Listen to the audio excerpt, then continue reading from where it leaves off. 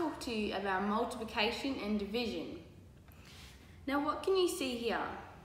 I can see that there's four equal groups. We know they're equal because there's three blocks in each group. But we don't know the total. So we find out the total by multiplying the number of groups and the number in each group. So we have three and four. So you know, three and four is 12. So our total is 12. We can put this in an equation.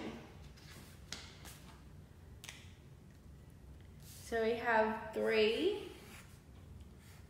times four equals 12.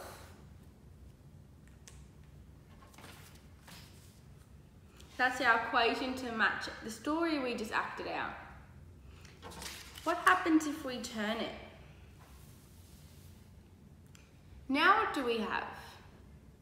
I know that we have our total, which is 12. We have four groups, but we don't know how many are in each group.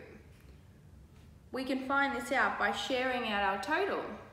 We can go one in each group, two in each group, three in each group. So we figured this out by using division. 12 divided by 4 is 3. We can write this in an equation too. Go 12 divide 4 equals 3. And that's our matching equation.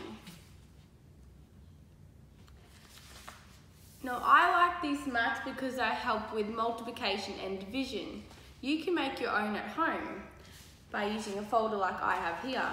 So this one shares by 3, shares by 2, shares by 4, which is the same one we've been using now, and this one shares by 5.